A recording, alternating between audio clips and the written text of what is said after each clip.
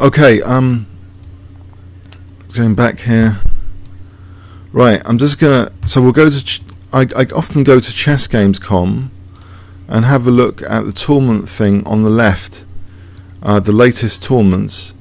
Uh, so if you go to the front of chessgames.com, uh, as as this shows, um, you'll see on the left there's new games. So I often look at new games.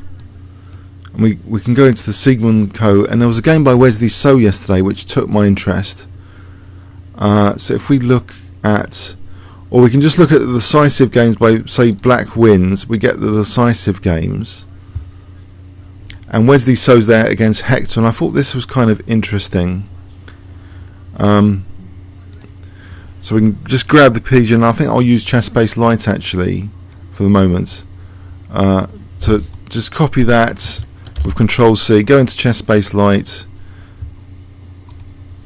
and all I'm doing is, is a Control V now, and it puts the whole game in there. I, I don't know how many of you are aware of that, by the way, little trick.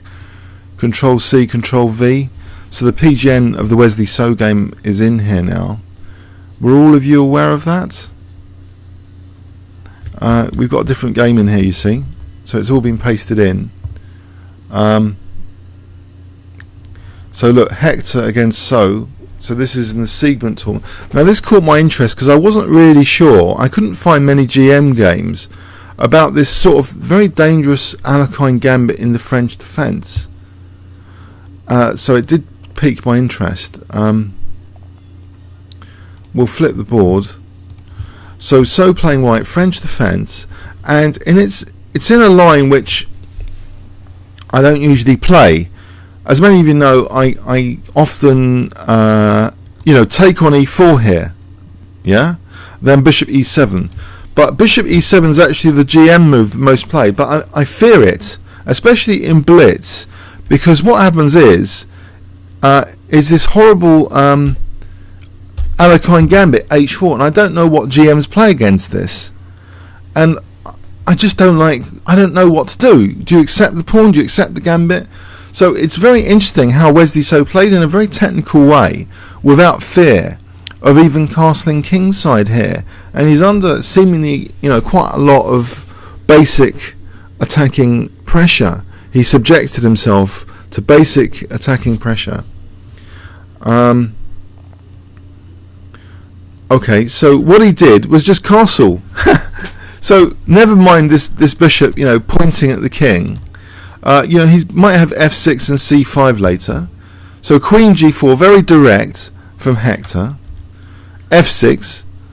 Doesn't mind about e6, of course. That will give black some initiative if, he, if white took on e6.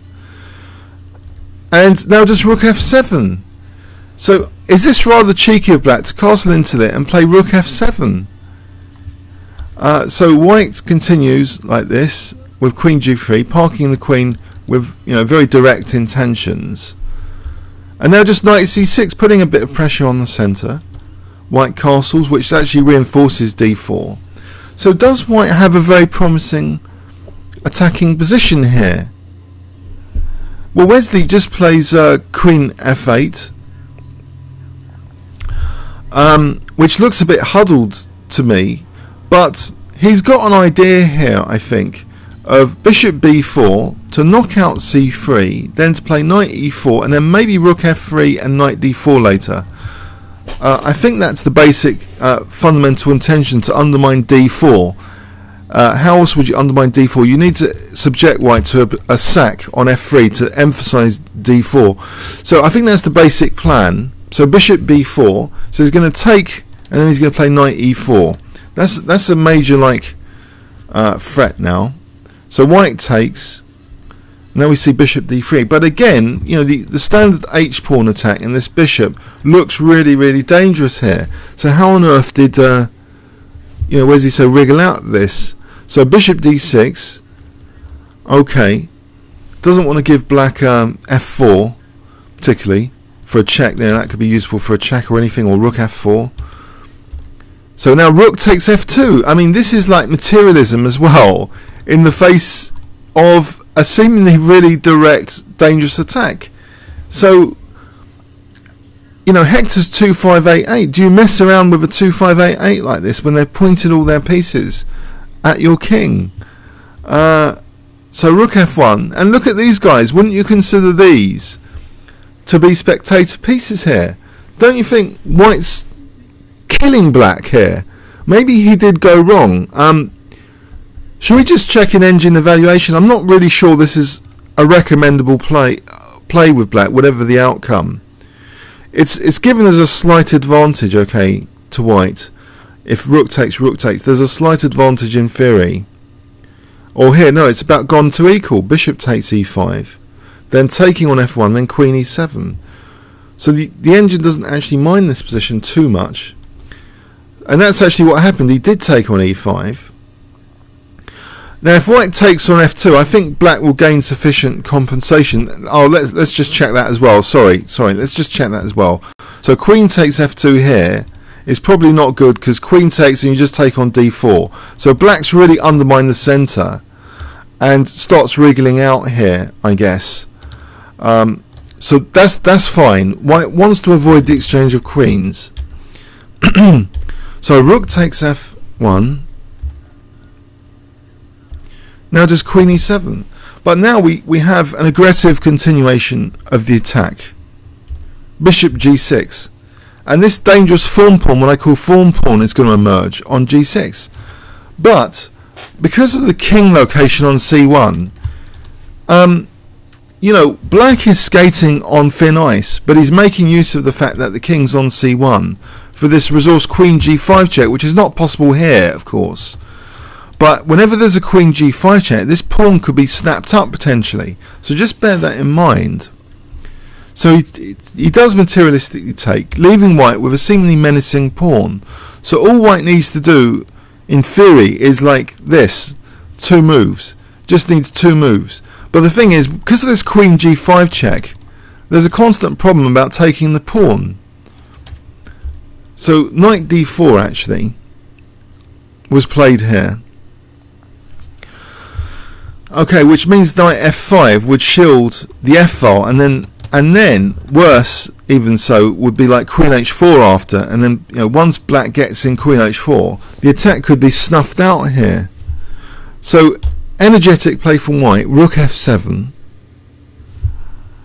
and now queen d8. So keeping an eye on this g5 square because that's a very important square here.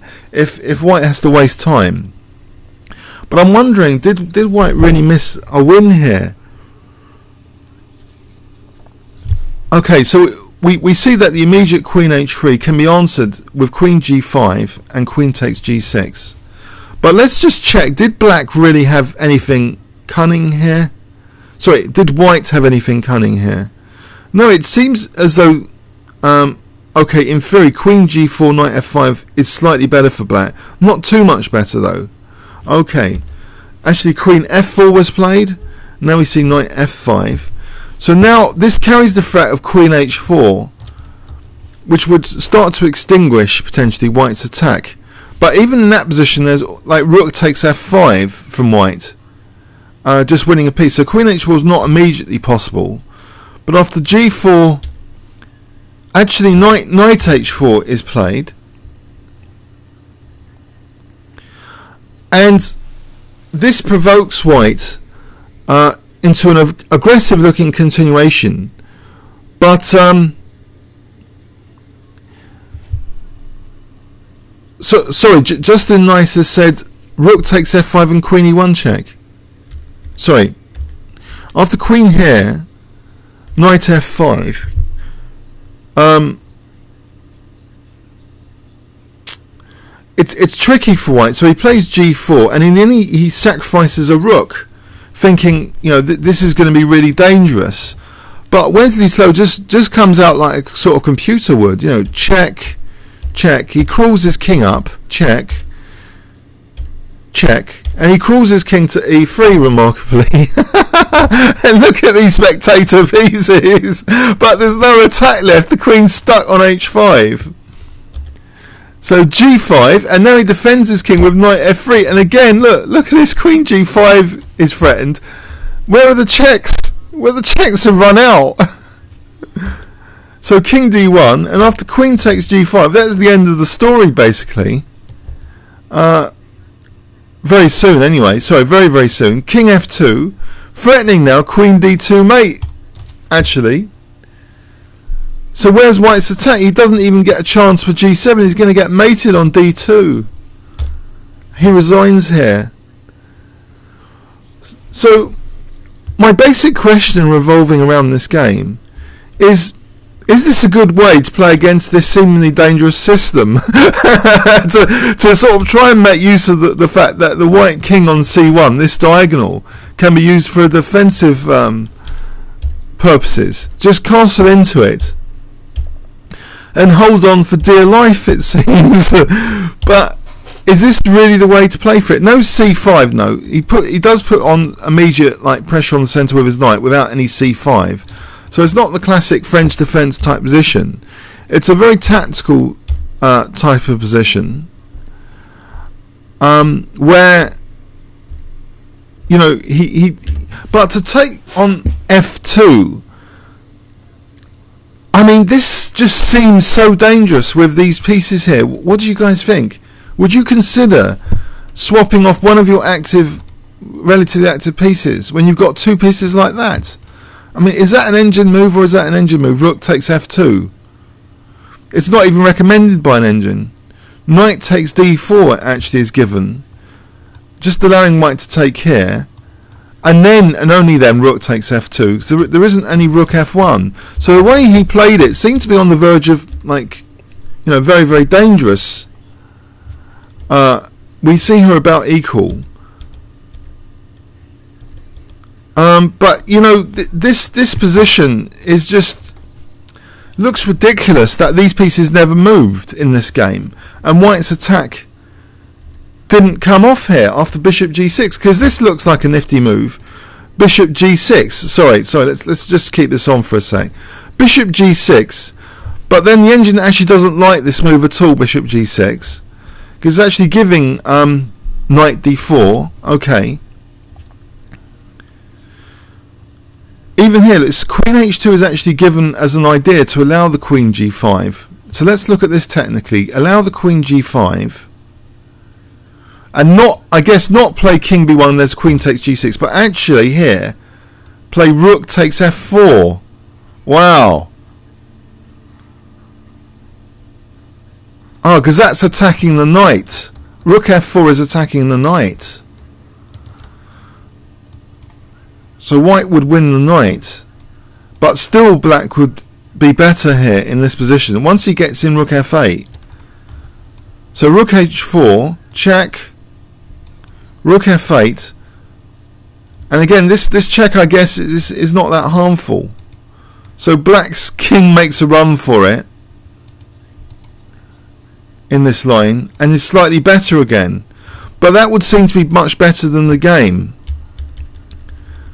Uh, so even even giving black the queen g5 but here um, so black in theory so here the, the best way apparently was was to give black again queen g5 for this rook f4 to swap the knight because that knight's a target but that didn't happen again. So instead um, now this is given as equal this position. So he played queen f4, but queen g4 actually holds on to the pawn, and then queen h5 is dangerous. So I do wonder, was just black very lucky? Knight f5, queen h5. Okay, without sacking the rook yet. Now g4. Whoa!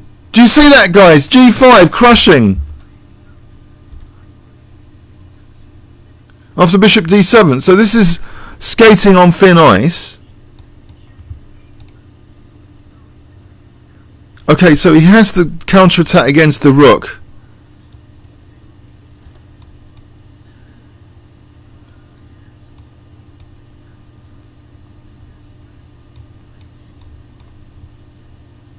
Alright, is, is the point of the draw this, this kind of perpetual check? Pro- probably that's how black gets a draw by perpetual check here. So that would have been the da- very dangerous way of playing it. Just crawl the queen up on the light squares to get to h5, just simply protecting the pawn. So what he played was kind of more spectacular idea to sacrifice the rook on g7. And it wasn't strictly necessary. Yeah, it's it seems uh, it was dangerous after all. I mean, that's why I don't castle kingside. I thought, hang on, is he making a point you can castle kingside against this? But really, if you look at it objectively, it's it's only because this was a really unsound rook sack. It seems, yeah. There's this there's nothing in this attack. It runs out of steam. Ma- massive advantage to black. It runs out of steam. Mate, mate for for white. So so basically, the, the key the key blunder going wrong seems to be you know, uh, not keeping hold of the g6 pawn. If he had played queen g4 here, then queen h5, then he would have been okay. So that this is still dangerous um, for for black, and black can't like take here, I guess, because ah check. No, this is tricky as well. Check. Oh, the pawn's going to queen. You see, if takes, then you queen the pawn. So you'd have to give up your queen. So that would be a terrible. So, so that that that's the way to lose with black. Uh, so g5 here is crushing. So the only move for black here to defend would be queen e8. Just really threatening knight f7. Then you get rook takes c7 and g5 and you let black get a perpetual check. Okay, um, so yeah, I thought that was a very interesting, sharp game there. Um, um, so I hope you guys enjoyed that one. Uh, let's stop there and look at another game from that tournament.